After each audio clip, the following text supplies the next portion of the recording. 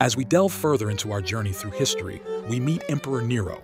Bold, brash, and notorious, Nero redefined repugnance. Rome's fifth emperor, Nero's rule was marked by tyranny. His extravagant lifestyle and obsession with arts left the empire depleted. Nero often performed on stage, demeaning the imperial status. His love for music, notably the lyre, was infamous among Romans. His reign was tainted with numerous allegations. Most shockingly, Nero was accused of orchestrating the Great Fire of Rome for personal gains. Nero's eccentricities didn't end there. He held extravagant games costing the treasury dearly.